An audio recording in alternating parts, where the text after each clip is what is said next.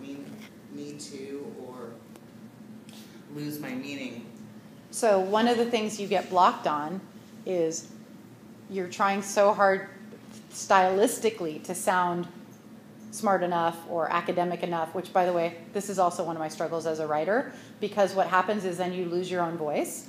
And for those of us who are more comfortable being very conversational and really, really are, uh, this is my, I don't know if this is true, but my belief is for those of us who are really comfortable just talking to people conversationally, academic discourse is really a big shift.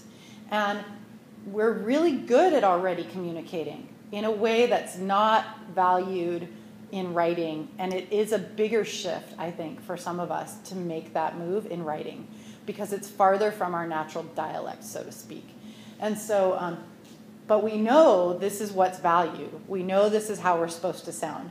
And so we end up losing what we're trying to say because we're trying to find the right word, we're trying to find the right sentence structure, and then people are like, "Oh, this isn't right." This is but we're but we're also experimenting. We're really pushing our comfort zone with new language, which it's really speaking out of our dialect. And for some people, that this is already comfortable. Some people already speak much more formally and write more formally, and are, it, this isn't as big of a shift.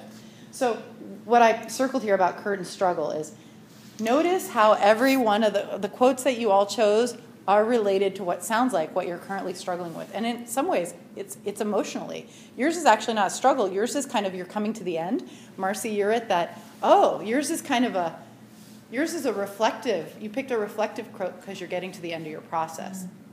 Right? But for those people who are still earlier in the process, the quotes that you're choosing are much more around kind of a struggle. Did we pick, did we find yours? No, I thought I put it up. I, uh, Do you know what it is from the book? Can you just tell us and we'll look at it?